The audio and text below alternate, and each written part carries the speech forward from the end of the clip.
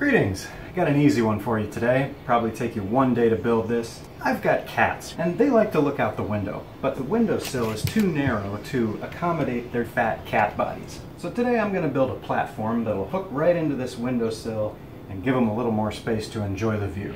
To build this contraption, I'll need a piece of half-inch plywood, a drill, a handsaw, a couple of shelf supports, some small 1-inch L braces, a bath mat, tape measure, screwdriver, some 1-inch and 1 half-inch wood screws, and of course, a cat.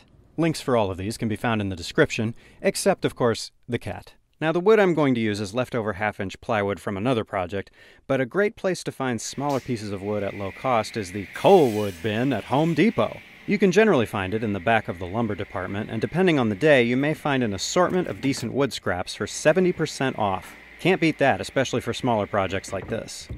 Everybody's windowsill is different. Fortunately, my sill has a nice sturdy little track where the window slides. I'm going to design the platform so that it hooks into this rail and hopefully that will keep it from sliding off when cat weight is added. I have my measurements, and now it's time to buy some supplies. Shelf support brackets are a must, of course. And I'm going to use some of these L-shaped corner braces as the hooks for the windowsill. Step one, cut the wood down to whatever size is ideal for a Kitty's butt to sit comfortably. Now, try to connect these of this.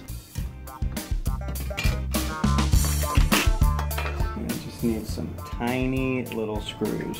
I'll need six of these if I have them. There's six, we'll start there. Can't screw these in with the drill because of the angle of this bracket. It's a little too tight. I'll just use a hand screwdriver. No big deal. So here we have the piece of wood with the brackets connected and it'll fit in the window just like this. It doesn't stay up right now because we have to put those littler L brackets on here to hold onto the windowsill. And then I think it'll be pretty stable. Now, as it turns out, I'm going to have to connect a secondary piece of wood that overhangs the lip of the window track, like so. Then I should be able to connect the smaller L braces to that.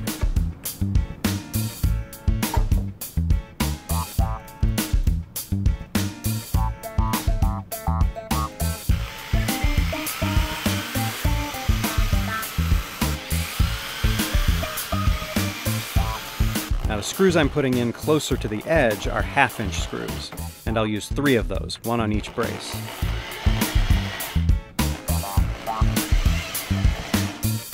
The screws I'm putting closer to the middle of the plank are one inch screws, and the reason those are longer is that they'll need to go not only through this piece of wood, but also into the platform itself to hold it together. So I'm only going to screw these halfway in for now.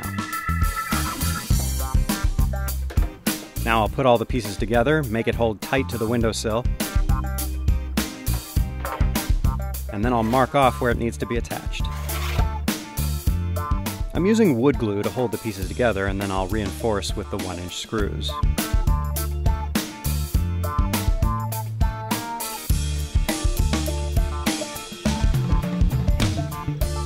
After the glue dries, I can finish screwing in the final three screws, and I think this will provide ample reinforcement.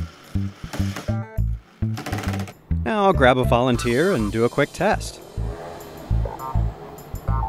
Hmm, I think it's uh, more or less successful. Now I just have to make it cozy.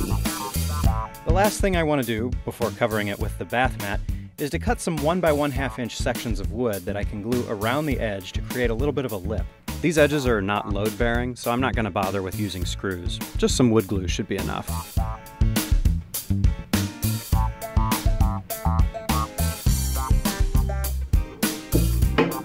Finally for the cushioning, I'm using an old bath mat that I already know they enjoy sleeping on, and I'm just going to use a staple gun to attach it to the platform.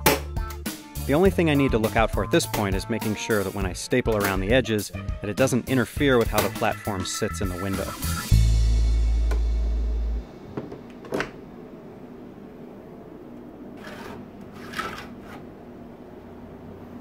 Here you go, little guy. Oh my goodness. Now you can chill and look out the window. What a lucky kitty. Well, there you have it, a simple window platform that you could probably build yourself. Hey, if you enjoyed the video, be sure to hit the like button down below, as well as the subscribe button and the bell icon so you can get notifications the next time I build some crazy thing.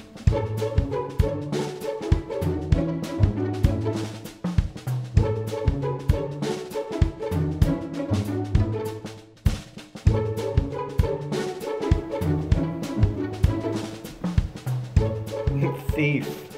You're a thief.